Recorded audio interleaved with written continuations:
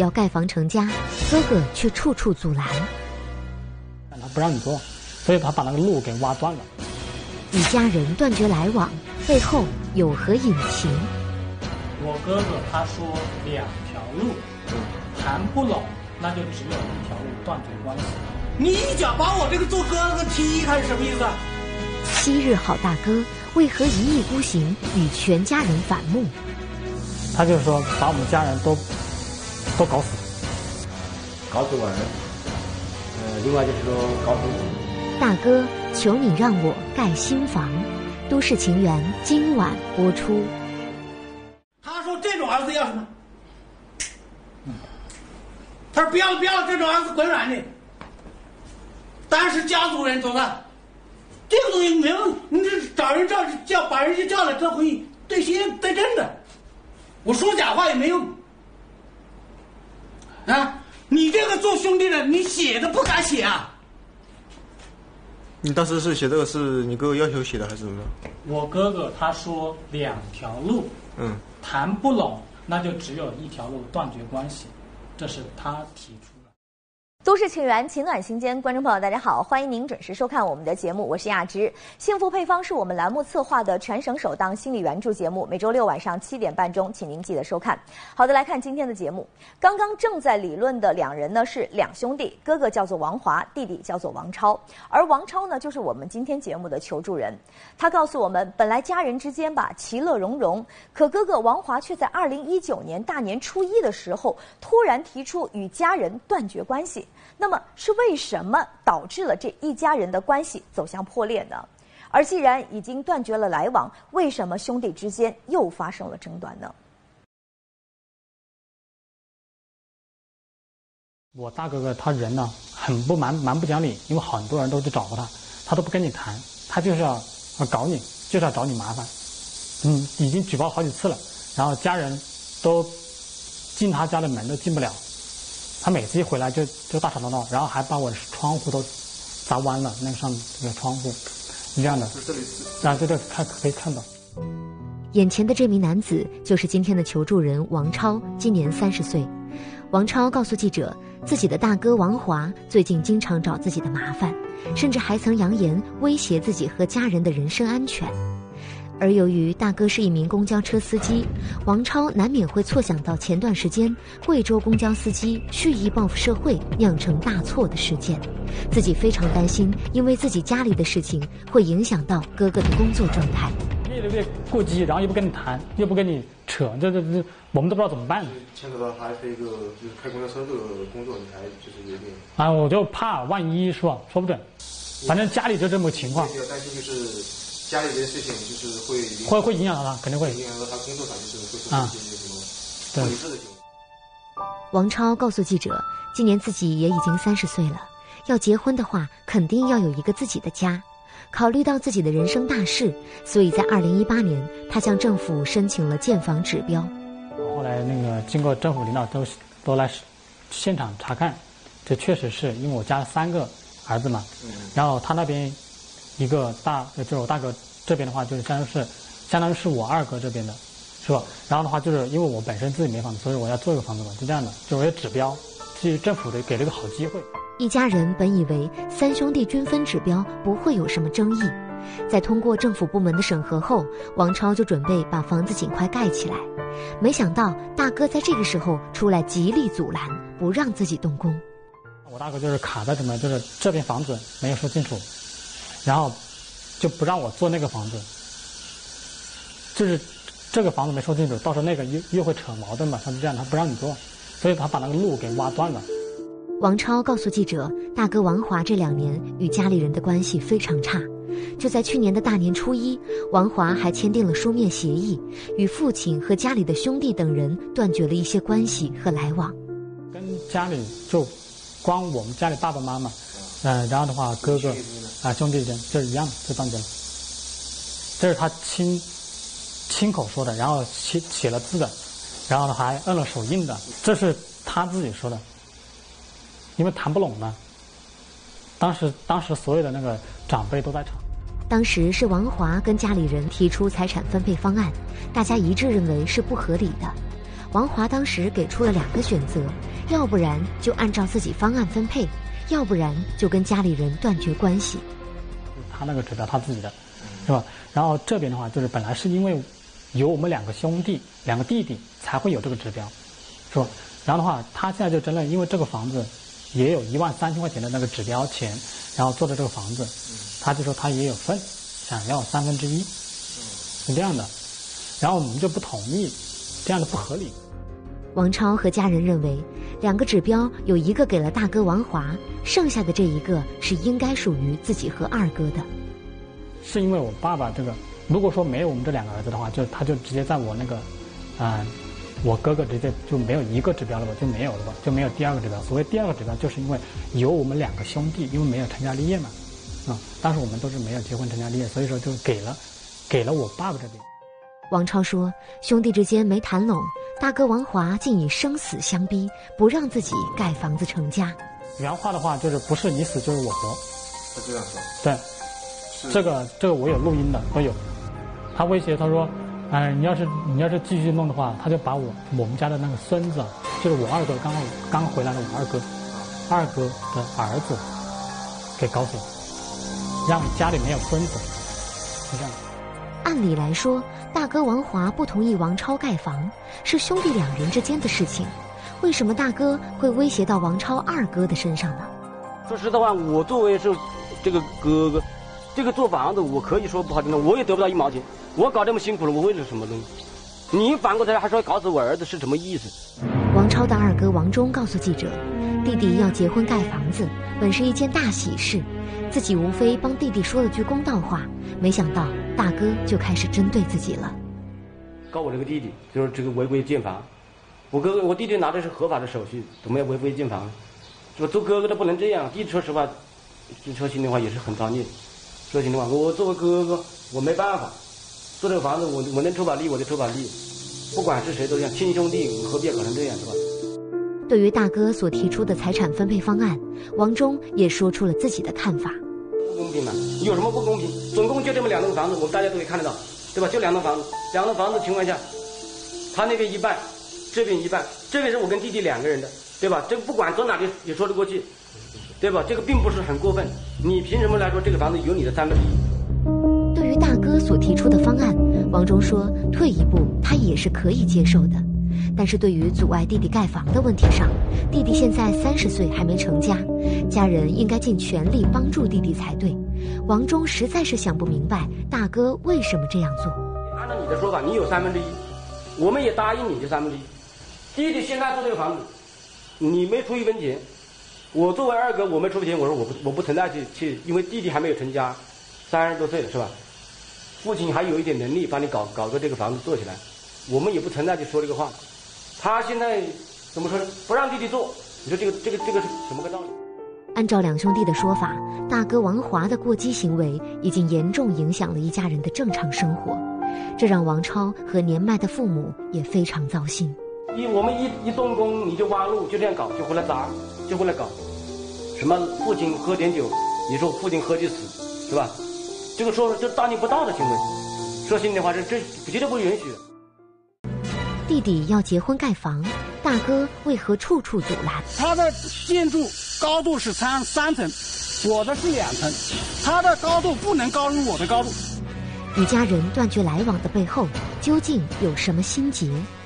所以我从来不计较这个钱，但是这次确实让我伤心。大哥，求你让我盖新房，《都市情缘》正在播出。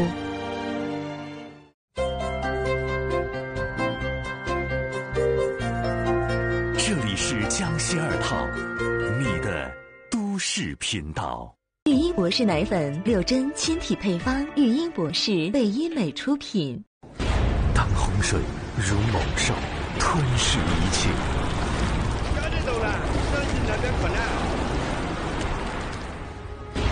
他们如何承受失去家人的苦？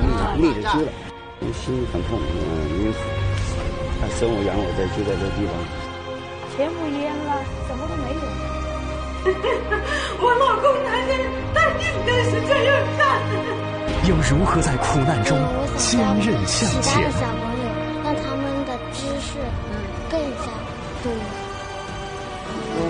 振作起来啊！等洪水下去的话，我们重新家园。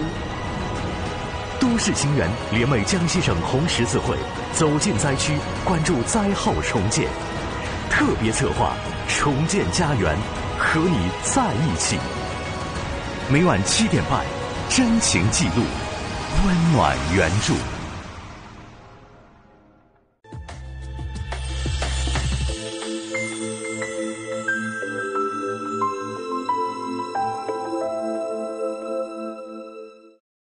王超和他的二哥王忠告诉记者，大哥王华一意孤行，他的种种行为已经严重的影响了全家人的正常生活。希望大哥呢可以出面接受调解，将一家人的生活重新拉回正轨。接下来，大哥王华究竟能否出面接受调解呢？在王华的内心到底有什么打不开的心结呢？为了帮助王超解决当下盖房的问题，也为了避免双方见面又会发生冲突，记者陪同王超来到了当地村委会了解情况。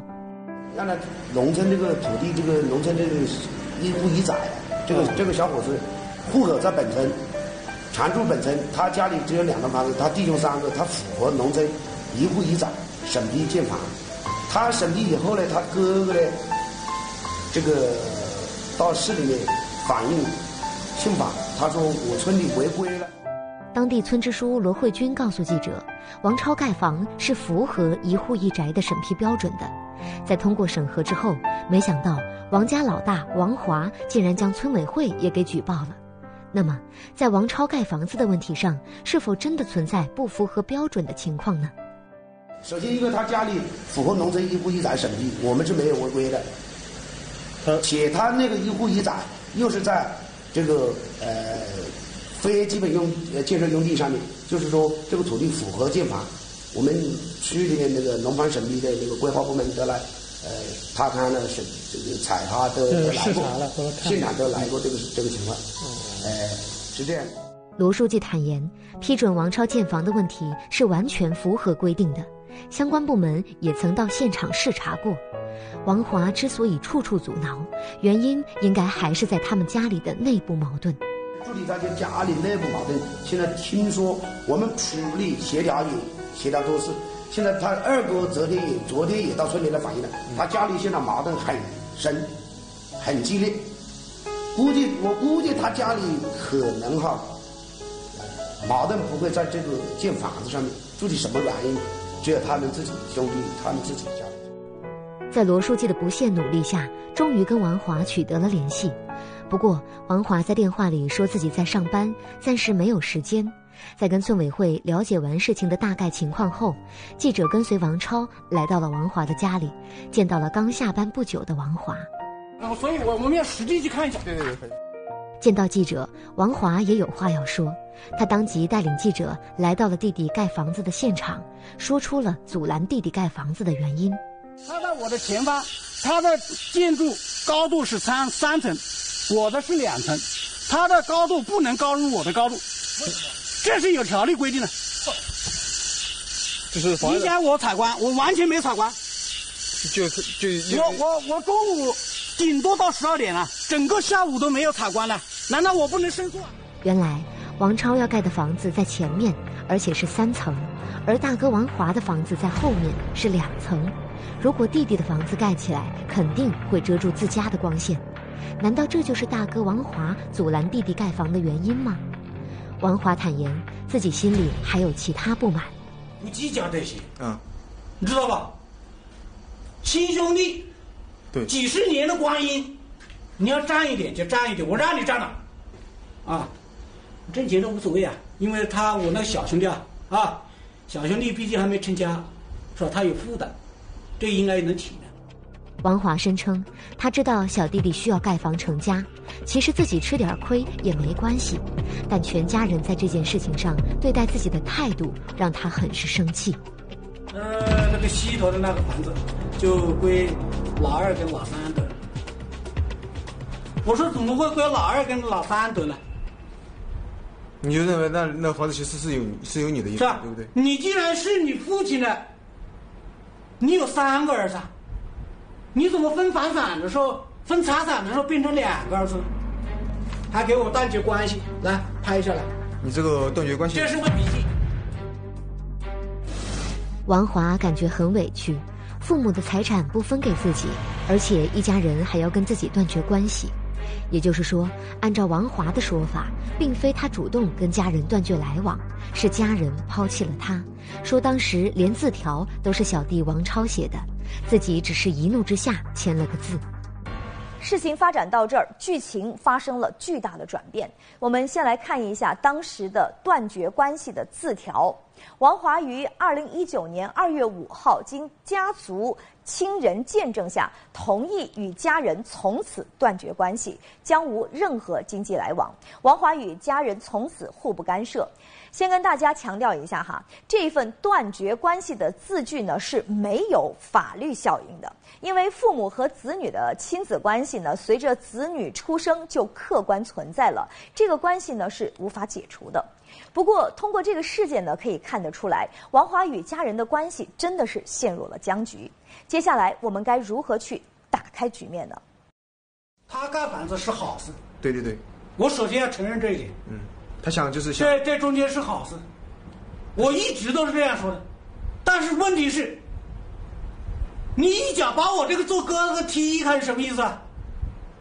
他是说财产没有我一个人，没有我的份。哦，你生气生气在这个地方，其实。哎，对，你财产能有多少？兄弟盖房子是好事，王华也表示应该支持，但是让他接受不了的是，一家人把自己当成一个外人，这才是让他最痛心的地方。但是话不能这样说，你不能说我没分，对吧？因为你你老人生的是三个儿子，对吧？难道你就分一块钱给我？我不会跟你争，起码你把我当成儿子。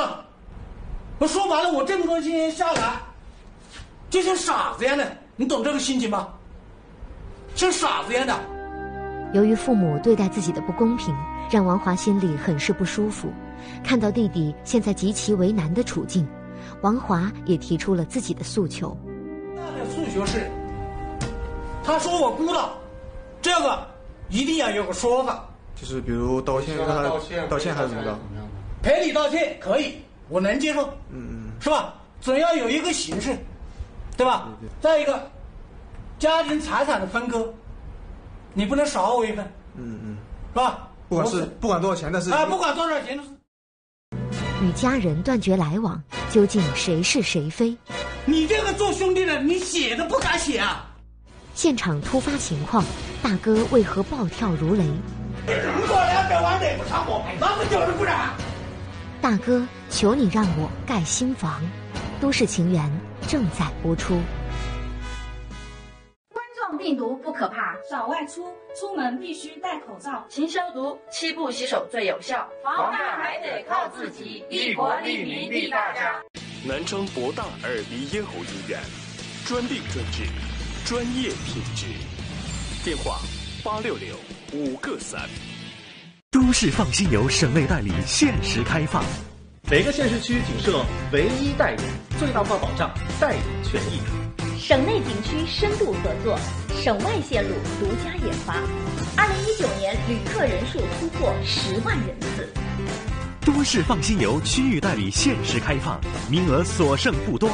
现在拨打电话零七九幺八二二二七二二二，了解彼此，从现在开始。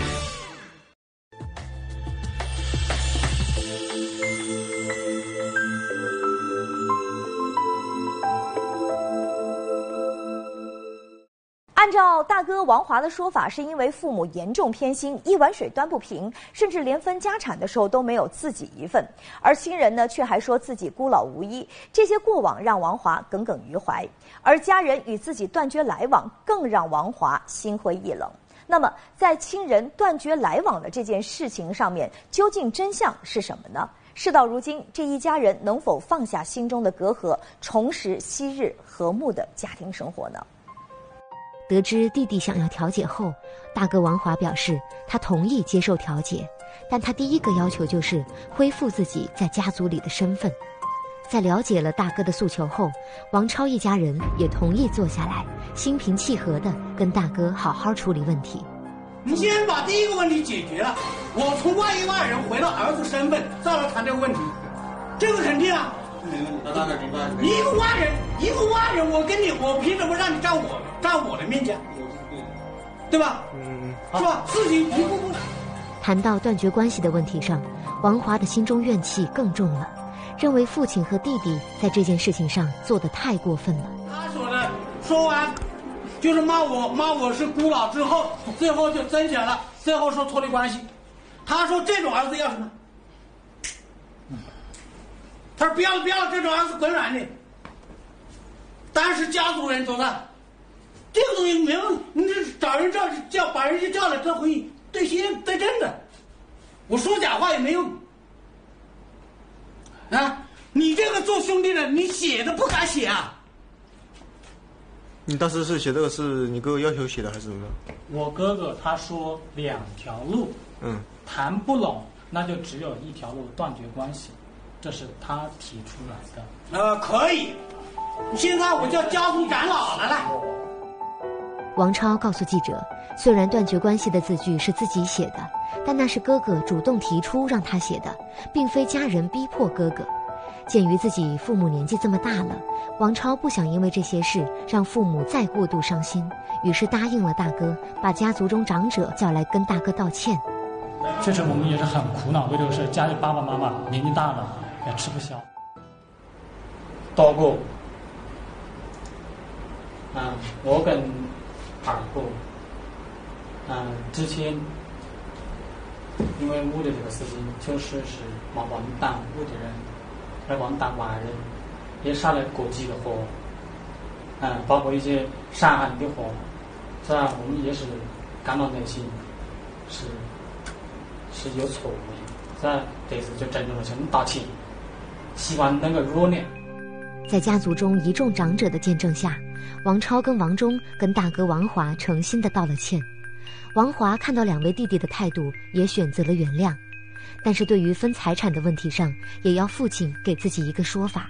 我分的两个指标，三个儿子两个指标，大儿子成家就是一个指标，大大大儿子成家就是一个指标，两个儿子没有成家就共一个指标。嗯，这就户主名字是我的，但是两个儿子都没结婚，都没成人，还都是，是吧？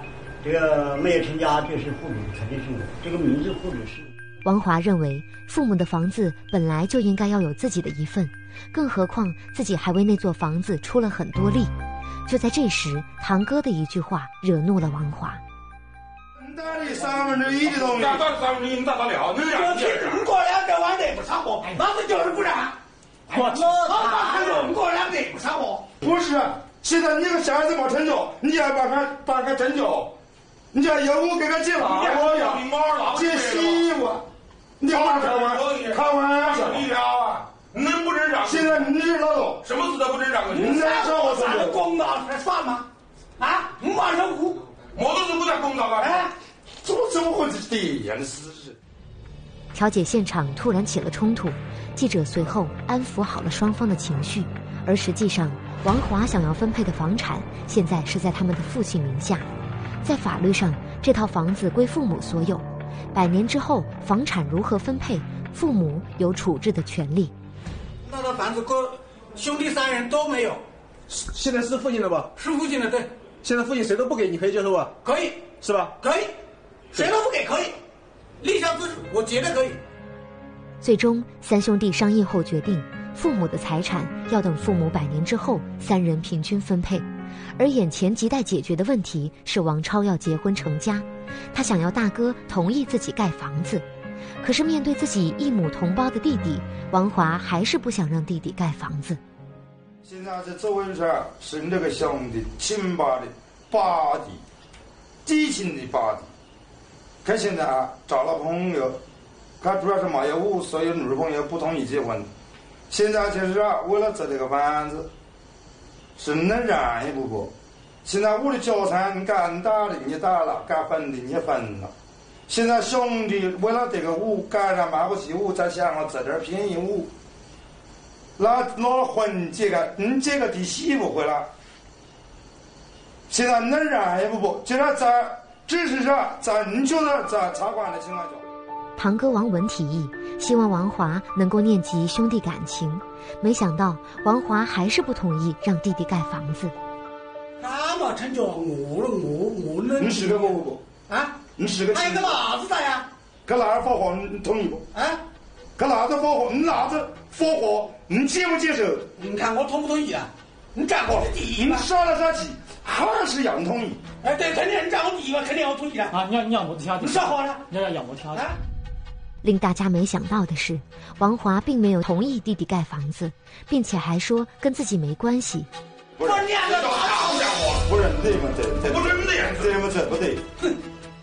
在大家说王华不对的时候，王华又一次爆发了自己的情绪。在经过诚心道歉和多方调解后，看到大哥还是这样的态度，令王超彻底伤了心。这个事情我就是要做房子，你说怎么要占了多少地方，我赔钱给你都行。他就是不让，还说什么光线，这都是他自己自己在一直在说这个没有名堂的话，是吧？这都这个都，而且我是他真正亲兄弟，这样说的话，没有一点兄弟情。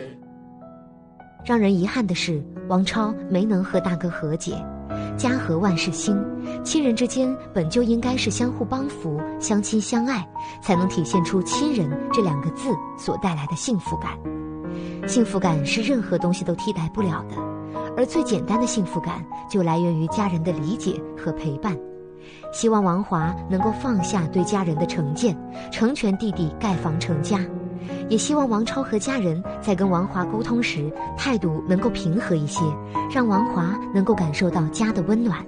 希望一家人能够早日和解，恢复往日一家和睦的生活。好的，今天的节目呢，在这就结束了。提醒一下大家，由我们都市频道二基金、都市爱心筹联合省红十字基金会共同推出的“重建家园，和你在一起”公益活动正在进行。如果说您愿意伸出援手，帮助受灾群众重建家园，现在呢就可以拿起手机关注我们栏目，或者是都市现场的微信公众号，点击“重建家园”菜单，进入捐款页面，再点击。单笔捐款就可以向受灾群众献出您的爱心了。明晚的同一时间，我们再见。